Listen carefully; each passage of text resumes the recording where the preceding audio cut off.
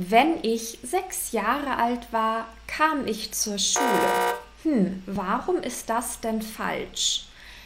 Weil wir hier keine Kondition haben.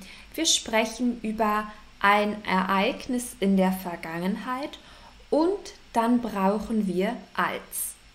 Also, als ich sechs Jahre alt war, kam ich zur Schule.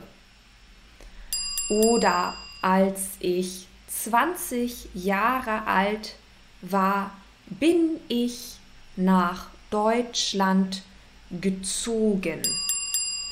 Warum können wir nicht wenn benutzen? Ich wiederhole, wenn benutzen wir, wenn es sich um eine Bedingung handelt, also für Konditionalsätze.